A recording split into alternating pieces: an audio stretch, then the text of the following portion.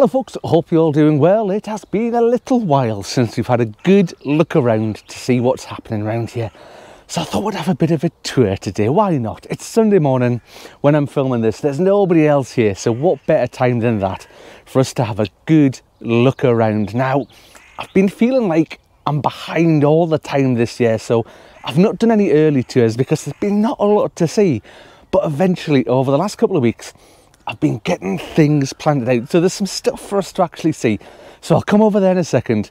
We'll pick you up and we'll have a look around the whole plot. We'll see how the, things are looking sort of going into the, the real sort of peak start time of the year. So I'll be back with you in just a jiffy. So as always, when we start this plot, this is me pretty much here at the gate. So we'll pretend we've just come in the gate. Here we come. We've got the compost bin there. We'll not worry about that. This is a little bit of a fruit area. Now I put these two fruit trees in last year. This one, this one here and this one just over that one's a bit smaller. Now they were a impulse special offer buy from Tesco's and they're doing all right. This is only their second year. Like I say, they were tiny when I bought them, but look, got some lovely little blossoms on there. On there. This one I say, this one's not doing quite as well. I can't see any blossom on it. It's a lot smaller, a lot skinnier than the other one, but you know, it's not it's not looking too bad. We've got some raspberries all the way along the fence there. You can see we've got some some couch grass and things like that that needs taken out. That needs a little bit of tidying up but it's not looking too bad. We've got the comfrey over here that's absolutely sprung into life over the past few weeks. That'll be great. So we'll be harvesting some of that soon to get some comfrey tea made. We'll skip past these two empty beds but there'll be stuff in them by the end of the day hopefully. Now this bed here this is all iceberg lettuces. Now, I didn't intend on doing iceberg lettuces this year, but I saw this pack of lettuces and they look lovely in the garden centre. So I thought, I'm having them. And I tried to grow iceberg lettuces last year and I did them from seed and they were looking like this. And I put them out and there was leather jackets in one of these beds. I can't remember which one it was. And they ate all the roots and destroyed all the iceberg lettuces. And I was devastated because iceberg's one of my favourite lettuces. So I saw them at the garden centre and thought, right, we're having a pack of them, we're putting them in, and we're going to defeat the leather jackets this year. All right, under this, this is the rhubarb bed. The rhubarb is absolutely flying. There's loads of it. I've had so much rhubarb already, and you can see it all down here. I think there's four different uh, sort of plants here. These two at this end, the biggest ones, these were bought from a garden centre about three years ago. They're absolutely flying. The two down this end, they were grown from seed the, the, the stalks, the stems, the things like that, they're nowhere near as fat, nowhere near as big, struggling, flowering all the time, that sort of stuff. I'm hoping as the years go on, they'll get stronger and stronger though, and we'll see how it goes. So moving on over here, this used to be a potato bed, and I've converted it this year to an asparagus bed, and you can see, you can see the one bit of asparagus that's that's trying to grow there. So down here up to pretty much where the black plastic is and down this side there we've got 10 asparagus crowns in here. This is their first year on here so we'll get nothing from it this year.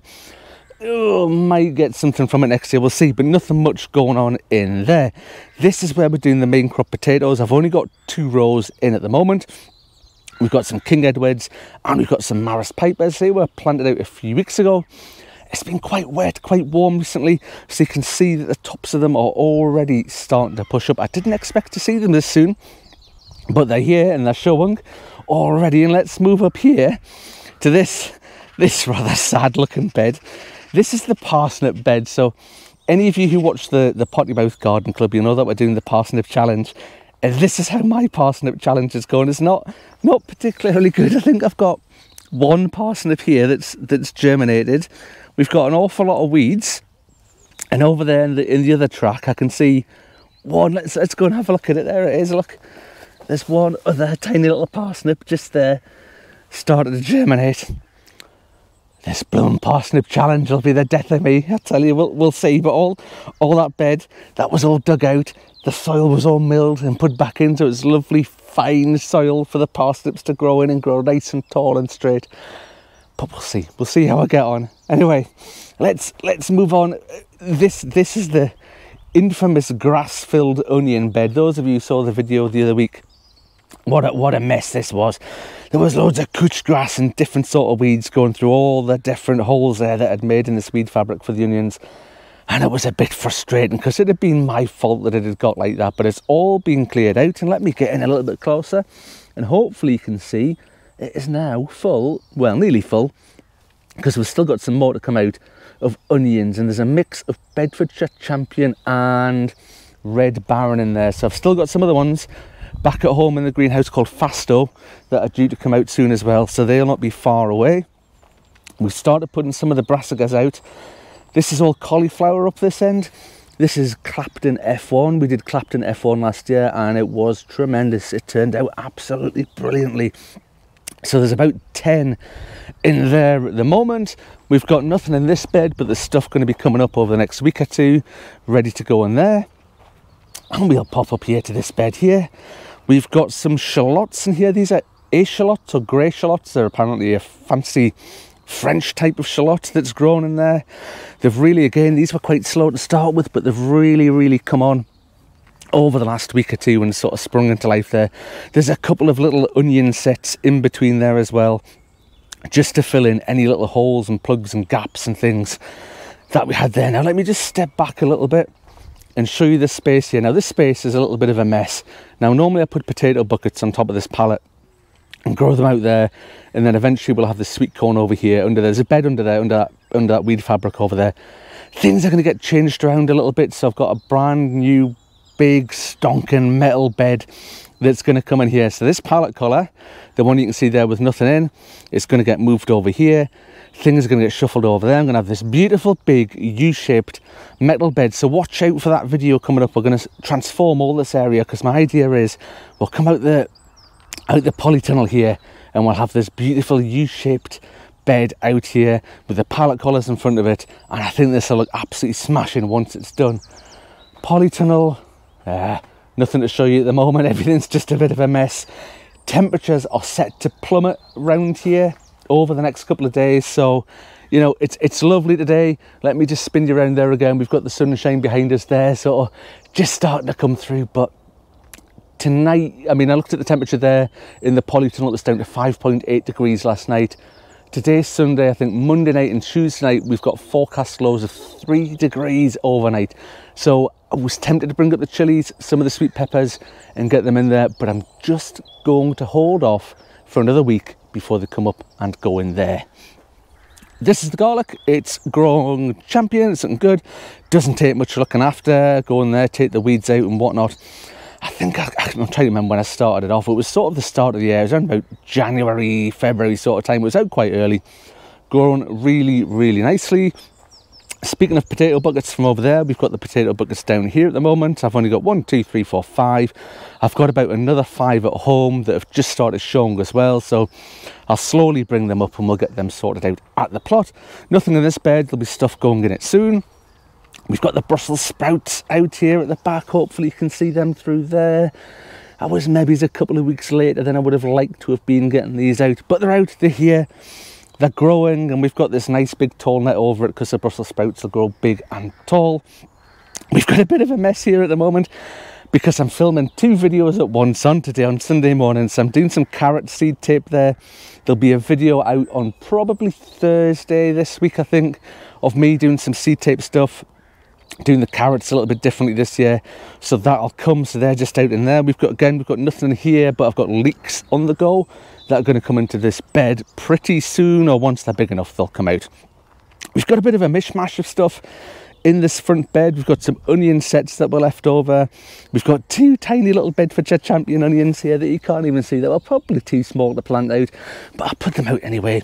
And then we've got some mixed sort of coloured beetroot there at the front on the go. And this sort of stuff here, you can see on the top there, this sort of strawy kind of stuff.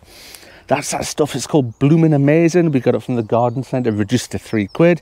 Apparently, it's really good as a mulch. It's got nutrition in it. It stops the soil drying out. All that good stuff. But for three quid a bag, let's give it a shot. So we've got this bed over here. We've got some spare onion sets down this end. We've got some elephant garlic We've got some spring onions, we've got some lettuce, we've got some more spring onions, and we've got some more lettuce. So a bit of a, a mixed salady crop sort of bed going on in there. This bed here, these are Bedfordshire Champion. Let me open that up for you there. There you go, you can see them there, hopefully a little bit better. they're getting on all right. They were only planted out, I think it was last weekend I put them out. So, you know, they're still just taking a little bit of time to get settled in the new bed and then whoosh, they'll be off. The pea and bean frames, nothing going on at the back there. The peas are firing away again. The next week or two, they'll be out. We've got the broad beans along the front here. They were going a bit slow, but again, the last couple of weeks, everything's just taken off and whoosh, they're on the way, which is good to see. Again, nothing much going on around the arch at the moment. I've got some sweet peas that I was meant to bring today, but I forgot to bring, so they'll not be getting planted out. But it's, maybe it's not a bad thing if those temperatures are going to drop.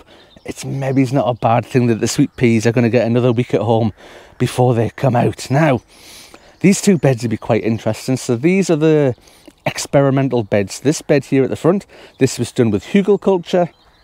This bed at the back, that was done with compost that was bought from B&M, so sort of three bags for 15 quid. And you can sort of see the comparison. The, the thing I always notice is the amount of weeds that's growing in this front hugel cultural bed where I've used my own compost and things like that. There's loads and loads and loads of weeds in it. There's millions of weeds. Radishes grown pretty well. Beetroot going okay. Onions going okay. Lettuce is going okay. I don't know what's happened to this one sort of red coloured lettuce. Look at it, it's just completely dead and I've no idea what's caused that or why it's done it. But let's just compare that to the bed at the at the back here. So this was a, the shop bought compost. So it's not it's not a huge difference apart from the dead lettuce. The lettuces are about the same. The onions are about the same. What I would say is the things at the far end, the beetroot and the radishes that were sown from seed, oh, maybe it's just looking a little bit healthier than the other things that we put in that were already established before we put them in. But we'll see. Time will tell. It's it's still a little bit sort of early days with this. We'll see how we get on. We'll have a, a proper look in a couple of weeks' time there.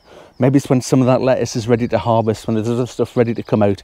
We'll see how things are looking in that experimental bed. Anyway, over here, and I always get excited with this, look.